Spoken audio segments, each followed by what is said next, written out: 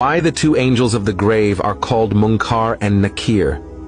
Imam Tirmidhi, may Allah have mercy on him, said that they are called Munkar and Nakir because of this. Because their faces are different from angels, humans, jinns, animals, insects. And they come to everyone in the same form, and if a living person sees these two angels, his heart will burst as soon as he sees them. Whenever these two angels come to a believer, then Allah makes that believer steadfast. And these two angels are called Munkar and Nakir also, because no human being has ever seen a face like that.